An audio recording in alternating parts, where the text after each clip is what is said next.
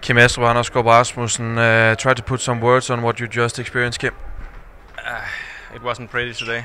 Uh, they are playing some uh, fast badminton, uh, stressful badminton, uh, not so pretty badminton. Uh, we we didn't manage to, to put up with that today, and I'm very disappointed about that.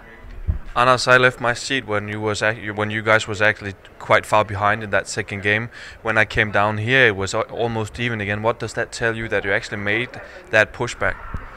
Uh, it means that we, we have a good spirit on court uh, because I didn't really have the feeling that we were playing that well, but uh, maybe that's the thing we need to work with. That 100% is not uh, something you do at all at all at all time, but uh, sometimes that's good enough to get some good chances. But uh, yeah, a quarterfinal here is, is good in, in this at this time of the year, but we we have we have dreamt of more and uh, and a third set where we raised our level throughout the game, but and then maybe we could have found something even better in the third set. So uh, yeah, frust- frustrating, but uh, better than the first round.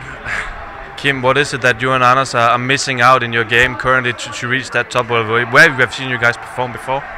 I think we played some very good badminton in the first round and the second round here, so that's definitely a step in the right direction. Uh, we also showed some mental strength again today. Uh, we were down 14-10 in the second and lost the first set, uh, and came back and had a game point. Uh, that's that shows uh, how strong we are right now, uh, despite a, a tough period. Um, so I'm satisfied with our level throughout the tournament, but I'm disappointed uh, of our game today.